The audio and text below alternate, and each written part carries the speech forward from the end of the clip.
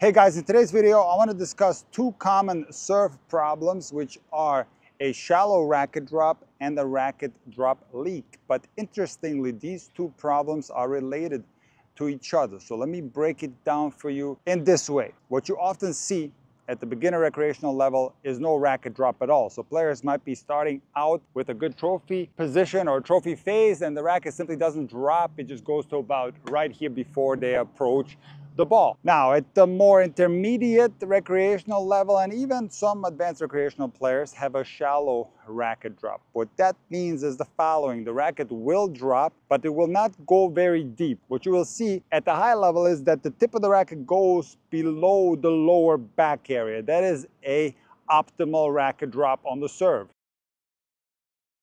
So some players are in between an optimal racket drop and no racket drop at all somewhere in the middle. They have what's called a shallow racket drop. Now this is a problem because you're not working with the same type of range of motion. You have a shorter runway to the ball, so to speak, and this is something that needs to be corrected. So naturally, with a lot of players, especially those that have no racket drop, start doing is start to consciously execute a racket drop by just dropping the racket down and bringing their elbow up. And now they have a full racket drop. However, often the serve doesn't improve much. And the reason why the serve doesn't improve much because they are isolating this movement. In other words, they are thinking about dropping the racket lower and nothing else in the body is happening. And now they suffer from something that's called a racket drop leak.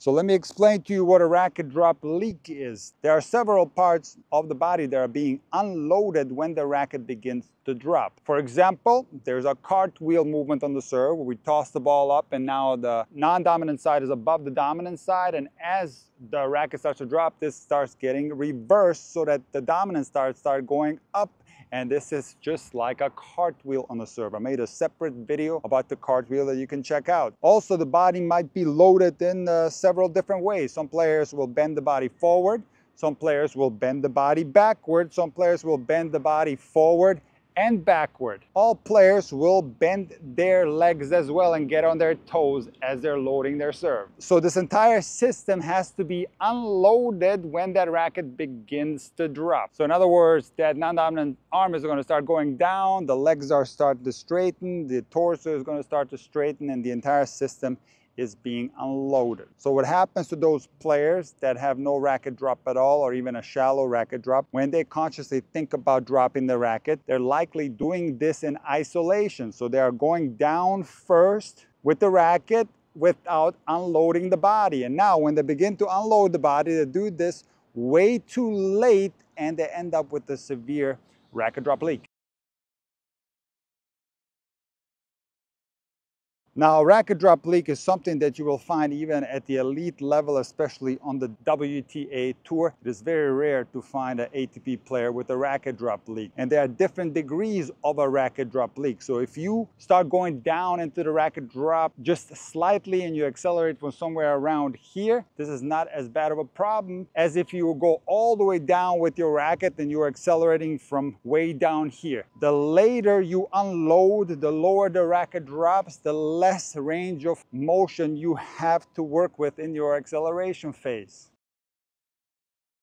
So for that reason, a racket drop leak that's severe is a big problem on the serve. So if you are someone who has a shallow racket drop or no racket drop at all, and you are working on dropping that racket lower and you're doing so in isolation, and you have created a big racket drop leak as a result of it, here is what you have to do. You're gonna have to work on the timing in the unloading phase. And a very good way to do so is with a progression where you start in the trophy phase, you bend your knees, you're gonna try to bend forward and backward as much as it's comfortable for you. You're gonna toss the ball up, and you're going to try to unload your body simultaneously with the racket dropping down.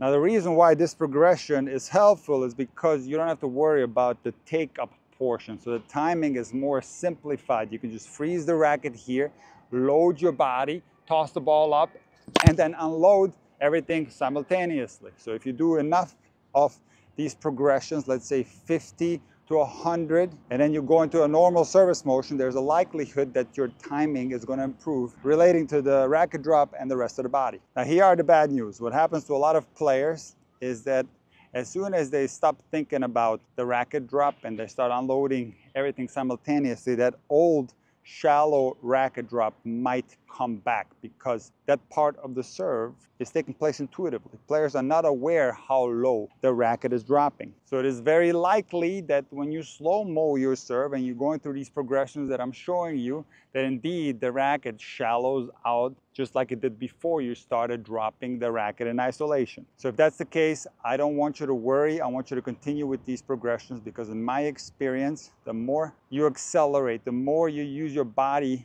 correctly with the proper timing, all these things help the length of the racket drop. So let's get into the biomechanics of how the racket actually drops. In the trophy phase, we're gonna see a lot of different styles, but let's assume that a player has the elbow slightly behind the torso. So as the racket begins to drop, the elbow starts going up and out.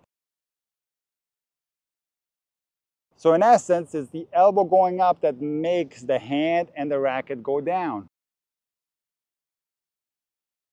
Now, of course, the hitting side of the body is connected to the non-hitting side of your body. So if you're doing some mistakes with your non-hitting side, for example, if you're dropping that toss arm too quickly, this will bring the hitting side up too quickly and this will shallow out your racket drop. So this is a common mistake that I see on players that drop that toss arm a little too quick, brings the right side up too early, and now naturally the racket drop shallows out. So it's very important that the tempo of the non-dominant side matches the tempo of the dominant side. So again, it's important that you use your body to help the arm out. Not only will this make the serve feel more effortless, but in fact, if you time the unloading portion of your serve correctly, it might help with the length of the racket drop. Now for you guys that have a chronic shallow racket drop, something that you always done, there are also progressions that you can do to start lengthening it. And here's one progression that can help. So we're gonna bypass this portion of the racket drop where the elbow goes up and out and we're going to start with the elbow already out. So the elbow is going to be on the hitting side of your body and the tip of the racket is going to be below your lower back. You can check this by hitting yourself very gently on your back. And you're going to toss the ball up and from here you're going to accelerate and make contact. If you do 50 to 100 progressions, there's a chance that when you step up and do your normal serve that the length of your racket drop is going to increase. If it doesn't, you just continue with the progressions day after day until you start seeing differences.